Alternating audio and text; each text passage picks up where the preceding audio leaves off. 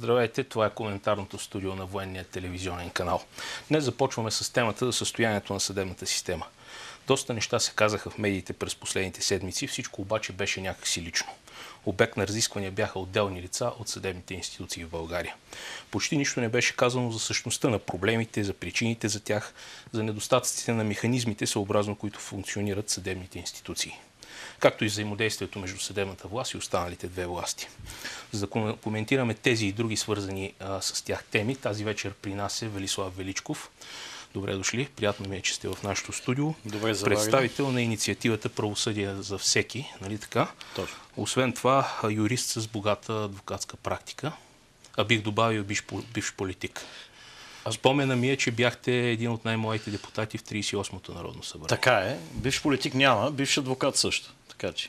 А, добре, това е чудесно. Тоест в няколко настоящи роли ще участвате при нас тази вечер.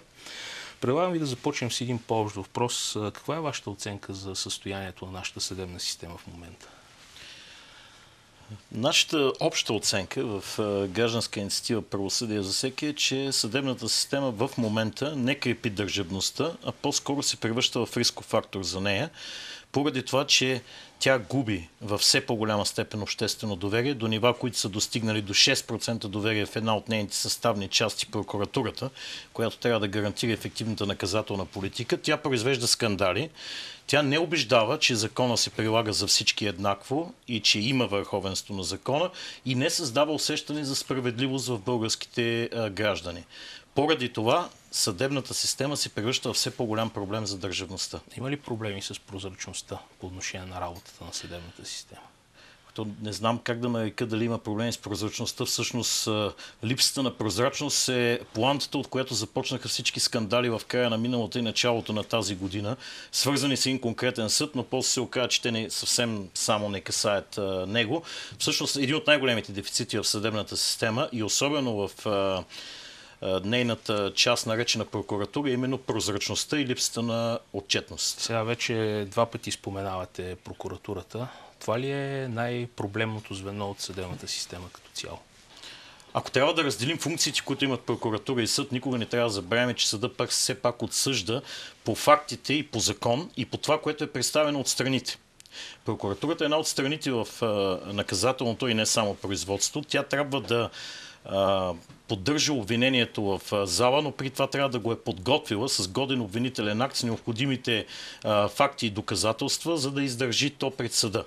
Именно за това огромна част от проблемите с несъстоялите се осъдителни присъди всъщност се крие в негодните обвинителни актове. И до толкова, доколкото прокуратурата осъществява, трябва да е осъществи ефективната наказателна политика на държавата, при липсата на контрол, отчетност, какво се случва тогава, когато пропадне държавното обвинение и дали има все пак някакъв резултат за прокурорите, които не са си свършили добре работата, дали те получават наказание или повишение заради слабата ефективност на собствената си работа, това е въпрос, който в най-голяма степен вълнува обществото. Добре, но всъщност събирането на, на доказателства не започва ли още от преди един проблем да стигне до прокуратурата, например от дознанието? Ами, прокуратурата е всеизвестно, че е господар на досъдебното производство. Естествено, полицията има своята роля, когато се намира на место престъплението, обезпечава доказателства, които намира там, обиски, претърсване и иземвания, но дознанието в крайна сметка се намира и въобще разследването под контрола на прокуратурата. И като господар на досъдебното производство, тя дължи и обяснение, ако нещо не е наред в досъдебното производство. Примерно, един от фактите в България, който стана известен напоследък като числа, че а, няколко хиляди наказателни преследвания се погасяват годишно по давност. Давността е 10 годишна. Кой точно не си е свършил работата е отделен въпрос. Естествено, в част от тези проблеми е замесен съда. Тук не мога, не мога да, не, да не ви попитам, намирате ли някаква умисъл в това? А, трудно е да се предположи, че няма и умишлено бездействие тогава, когато едни разследващи органи, прокурор, или съд са позволили изтичането на давността без да се намесят поради чисто бездействие или поради едно разкарване и връщане на обвинителните актове от съда към прокуратурата и обратно. Съвсем наскоро имаше такъв случай с една давност, която не бе продължена и така бе погасено наказателно преследване срещу бивш така да го наречем, кандидат а, за министър, в който една така известна прокурорка и един съд а, нещата ги бяха свършили така, че има данни за извършено да, престъпление, но няма наказание. Моята идея е а, да говорим повече за институционалните измерения на проблемите в системата система, без да разглеждаме конкретни лица. Това го отбелязах и в анонса с Аз за това не споменавам името. А, има една идея, която периодично се появява в медийното пространство и в публичното пространство като цяло за изваждането на прокуратурата от съдебната система. Какво мислите за това? Това е една идея, която върви поне от 15 години в публичното пространство. Това е въпрос, който е много спорен. Аз е, самият лично качество като адвокат не съм привърженик на изваждането на прокуратурата от съдебната система и преминаването и механично в изпълнителната власт, а това означава и под политическа протекция. Е, нямаме такава идея в инициатива правосъдие за всеки, но трябва да направим едно важно разграничение. Прокуратурата може да се намира в съдебната власт, но тя няма правата на съда, тя не може да стои над съда, тя не може да кадрува съдии, не може да излъчва председатели на съдилища, не може да наказва и да, се, да отговаря за кариерното израстване на съдии. Всички тези проблеми, които ги назовавате, откривате ли ги в практиката тук и сега? Разбира се. Всички тези проблеми се намират трайно в практиката, тъй като прокурорите, прокурорската квота в Висшия съдебен съвет редовно се замесва в скандали с кадровите избори, които прави, които най-често са свързани с избор на председатели на съдилища, с атестации или наказания на магистрати и съдии. в да. Висшия съдебен съвет именно прокурорската квота, която в крайна сметка е ръководена от най-силната фигура в Висшия съдебен съвет и то при всички висши съдебни съвети, не само при сегашния. Това е главният, главният прокурор. прокурор. И тук идва другия въпрос, дали над главния прокурор стои само Господ, както каза един бивш главен прокурор, но беше прав институционално и конституционно над главния прокурор наистина няма никой. Той не се отчита пред никой той не може да бъде освободен реално по време на мандата си, дори ако бездейства или избирателно действа и същевременно той е началник на всички прокурори и де-факто се явява прокурор от детути капи в цялата система. От него да практика зависи цялата държава. Същевременно обаче той не носи отговорност за това. А, нека да а, спомена съвсем накратко и като пример да дам Американската конституция, която се основава върху взаимодействие, но и взаимовъзпиране на трите власти в рамките на държавната власт. Как виждате нещата в това отношение при нас? Можем ли да кажем, че съдебната система е държава в държавата? Да, определено може да се каже това, тъй като някой път съдебната система включително провокира или регулира политически процеси в държавата. И това се видя няколко пъти през последните години. Най-крещящия пример е Костин Брод. Не искам да го отварям и да говорим пак персонално, но власт власт възпира основен принцип. В случая никоя власт не може да възпре една част от съдебната и това е прокуратурата. Прокуратурата може да образува досъдебни производства без контрол, да привлича в качество на обвиняем с необжалваеми актови без контрол, да държи едно латентно разследване или обвинение до съдебно производство срещу даден а, човек с години без контрол, след това безшумно да го прекрати отново без контрол или да пропадне в съда отново без контрол и затова отново няма никакъв контрол а, и не носи отговорност. Сам казахте, че няма бивш политик, няма и бивш адвокат. Отговора на последния въпрос, който ви зададох, как го дадохте? Като политик или като адвокат? Дадох го като адвокат. Очевидно.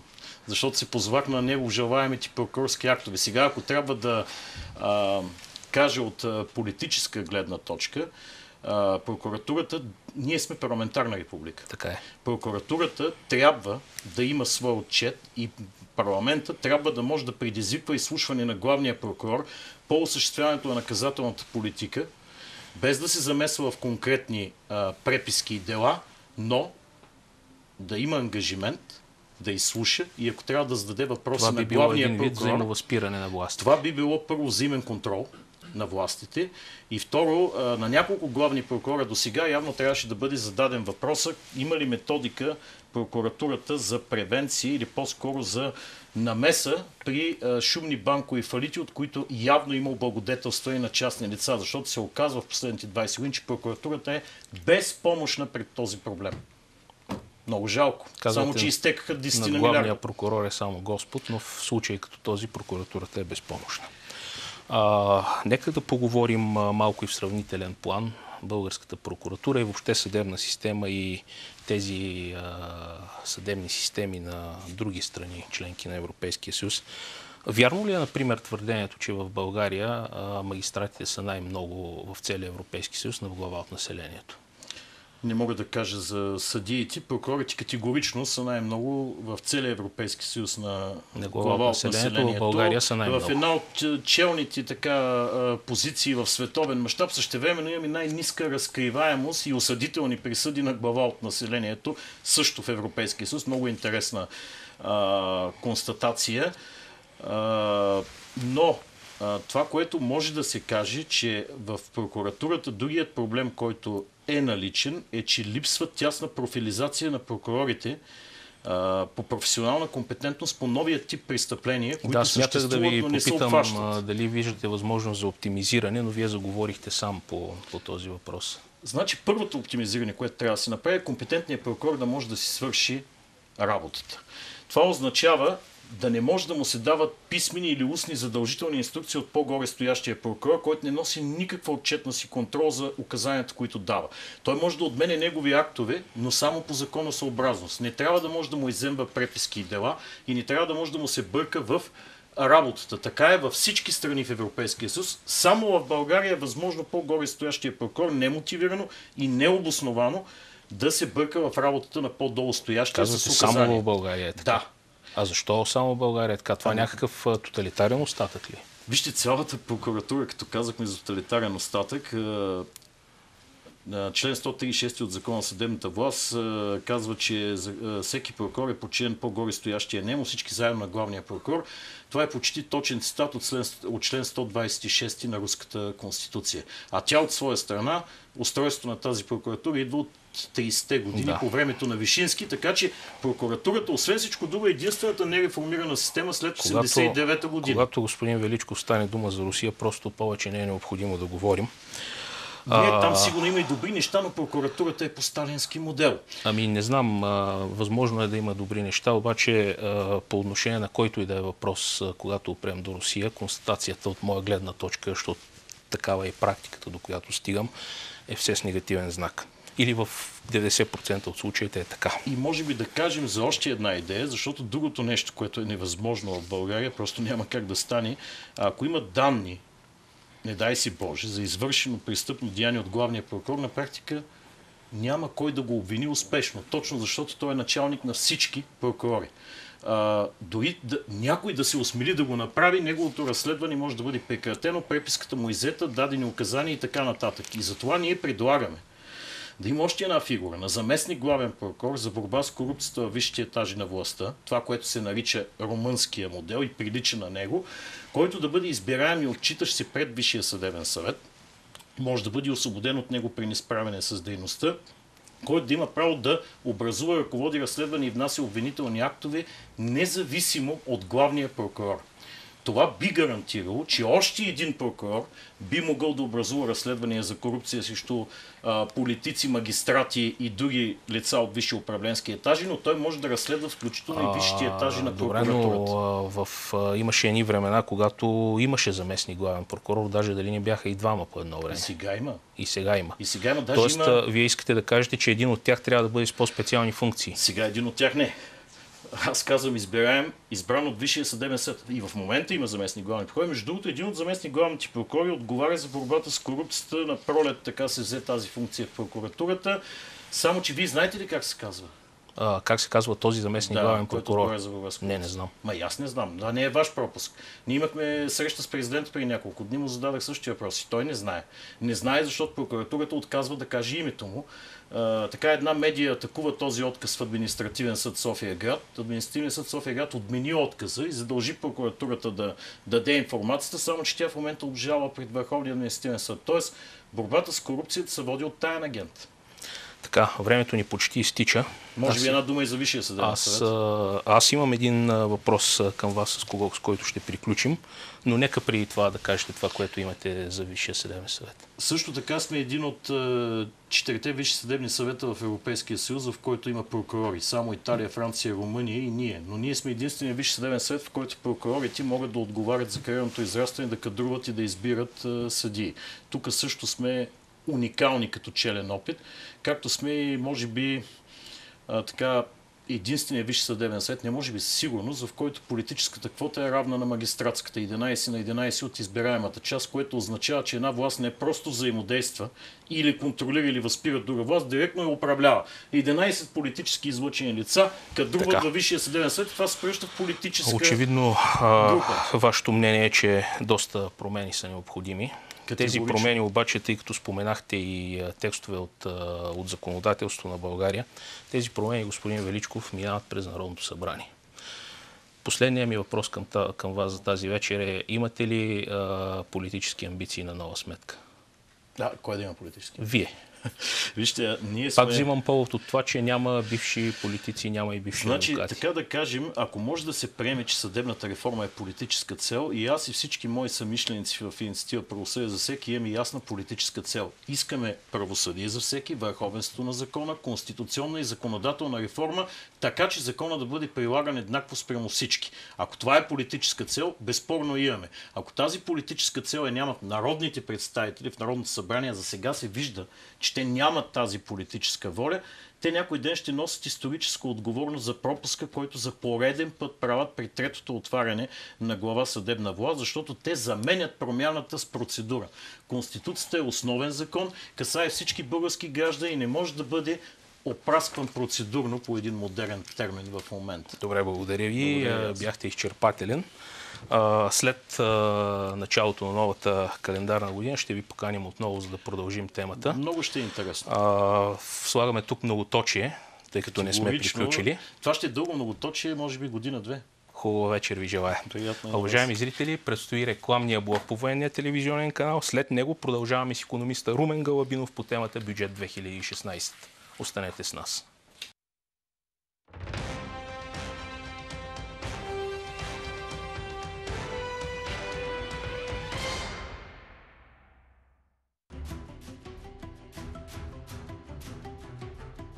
Човекът е част от Вселената, най-умното творение на природата, дарено с разум, чувства и неподозирана сила. Какви са хората? Строители или може би архитекти на своя живот? Каква е нашата мисия и на къде сме тръгнали? Днешната наука разбулва дълбоко пазени тайни.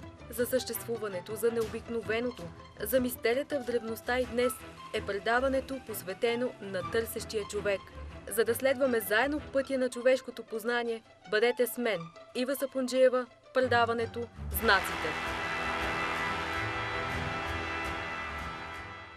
Всички искаме да сме здрави и красиви, но знаем ли как? Как да се предпазим от болести и да останем здрави в напрегнатото ежедневие? Кои спортове и терапевтични процедури са най-подходящи за нас? Как да се грижим за добрата си форма? Да намерим отговорите заедно. Гледайте Мисия Здраве всеки четвъртък от 18 часа по военния телевизионен канал.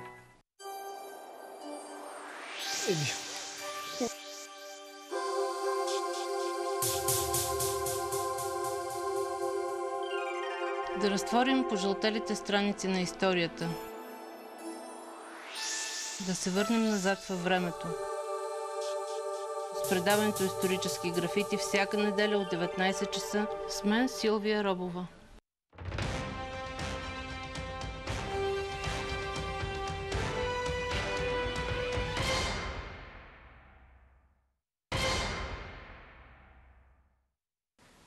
Добър вечер на Румен Галабинов. Добър вечер. Нашите зрители ви познават. При около месец ни гостувахте предишния път. Пак да. говорихме за бюджета. Тогава той беше на един по-ранен етап от отсъждането си. Сега вече е много по-напред. Можем да говорим и за конкретни числа. Но при това да ви попитам, ако трябва да го характеризирате с една единствена дума, коя би била тя? Въобще това възможно ли? Не е реформиран. Не е реформиран. А, надеждите на повечето от нас економически анализатори бяха, че този бюджет 2016 ще бъде малко по-смел в реформи.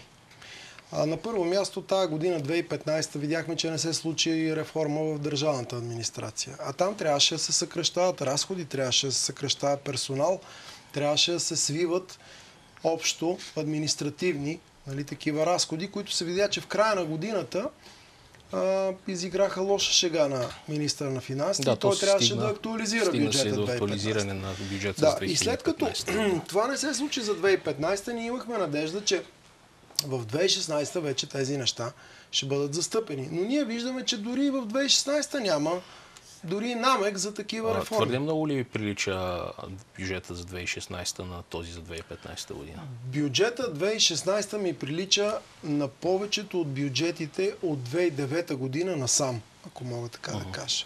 Тоест това са едни бюджети на нагласяване на разходите и запълване на някакви празноти. Но това не са бюджети, които предполагат радикални промени в българската економика, в държавната администрация и управлението на държавата. Тоест, а, вече ясно се забелязва, че както в приходната, така и в разходната част се увеличава от година на година преразпределителната функция на държавата. И при тази увеличаваща се преразпределителна роля на държавата и ясно се очертава недостига на приходи пред, през разходи, които пък то, този недостиг се финансира с нов дълг. Тоест за вас дългове. решението е преразпределителната функция на бюджета да бъде ограничена? Да бъде ограничена не повече от 35%. А тя нали? в момента е 42 тя, ли? Тя премина 40%, което не е добър атестат. Другото, което е, че имаме още нереформирани системи, които продължават... Като, например, съдебната, за която говорихме в предишния да, разговор. или приемно здравната. Да. Национална здравноосигурителна каса не е реформирана, не е демонополизирана.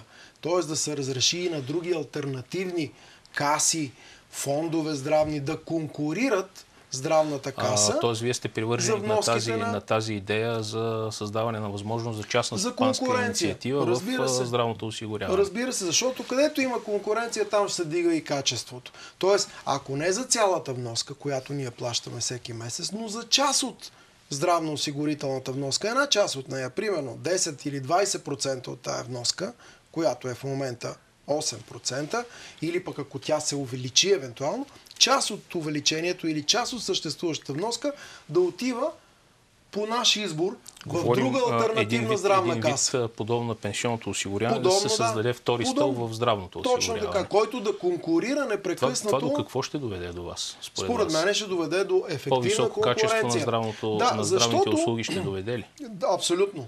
И ще ви кажа защо. Значи, една от основните функции, които трябва да играе Национална здравноосигурителна каса, освен да плаща, е да контролира изпълнението на здравната помощ и здравните услуги. Сега, когато се позволи и още един субект да участва, конкурираща е друга каса, т.е. за една четвърт или една пета от вноската, която ние плащаме, другата каса ще вземе и ще провери цялата фактура на разходите, за да плати нейната си част и ще свърши работата и на здравната каса по контрола на да, пазарната дейността. логика, която предлагате в този отговор е безспорна. Аз, тъй като също съм мислил по този въпрос с да. демонополизиране на Националната здравноосигурителна каса, си мисля обаче, че това може да доведе и до някои рискове, господин Галабинов. Няма ли опасност да се оформят, така да кажа, някакви конгломерати, в рамките на които да съществува и частна здравноосигурителна каса, и частна болница, а, и а, производство на лекарства и търговия на едро с тях. Значи, Или това не е толкова а, лошо? Това не е толкова лошо, още повече такива групи. Ние имаме и в момента, примерно банка, застрахователна компания, пенсионен фонд. те си работят по-отделно. Там законодателно нещата са разделени. Те трябва да имат отделни баланси и да не си смесват фондовете, с които работят.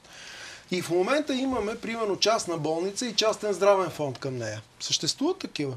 Има няколко такива и то са успешни примери. Но това защото... са частни здравни фондове, които Частни напълно здравни доброволен принцип Абсолютно на доброволен принцип работят, но те не могат да вземат достатъчно клиенти на изцяло доброволен принцип. Затова се предлага комбинирания вариант. Той е много успешен в Холандия, също и в Германия. Пак казвам, за час, по-малка част от вноската. Значи, основната част от вноската ще продължи да влиза в Национална здравноосигурителна каса по солидарния принцип, а една по-малка част да има право всеки от нас да се избере. Малко така привишихме с разговора за, За за, касата, да. и за парите за здраве, но все пак нека ви попитам и това. Тази идея, която предлагате, разглеждате като нещо трайно във времето или само като преход към пълно либерализиране на здравноосигурителния пазар? Ами като преход на първо време, защото не можем да направим пълна либерализация, но като преход може да е успешна в следващите няколко години. Сега а, да кажем няколко думи и за другите социални измерения на бюджета, Да. а именно 420 лева минимална работна заплата и индексиране на пенсиите, обаче от средата на 2016 година с 2,5%. Като цяло нямам против тези неща. Обаче, индексиране на пенсиите. Ама имаме ли там реформа, която ще се случи за оправяне на така наречените инвалидни пенсии, които са под въпрос? Значи и това трябва да го правим. Освен, че ще индексираме пенсиите, еми нека да оправим и инвалидните пенсии, защото в момента много се спекулира с инвалидните пенсии и си източва НОИ, бюджета на НОИ оттам. Тоест, ето, както на здравната каса ни трябват реформи, така трябва и на НОИ реформа, която не знам дали ще се случи 2016, по-скоро не. Същото и в други нереформирани сектори, примерно в енергетиката. Не сме реформирали БЕХ и НЕК. Продължава държавата да търси там един голям заем от 650 милиона евро, който да бъде държавно не гарантиран. Обаче не се намира кой да го даде държавно не гарантиран. А, добре, разбирам. Според вас ни трябват реформи. И Реформи, по- транспорта. И повече, и повече а, реформи, което би гарантирало баланса Да. на бюджета. БДЖ. И всъщност това би бил, едва тогава бихме могли да имаме един бюджет на развитието. Точно така. Ако, значи, ако се върнем към идеята ми за характеризиране с една дума точно, от значи ние ще сложим, ще налеем още пари в здравна каса, в НОИ, в енергетиката, в БДЖ. И там нищо не се говори в БДЖ. Ще има ли концесия, ще има ли приватизация, нещо ще се направи за оздравяване Още на компанията. а, една сфера, в която вероятно също бихте казал, че са необходими реформи.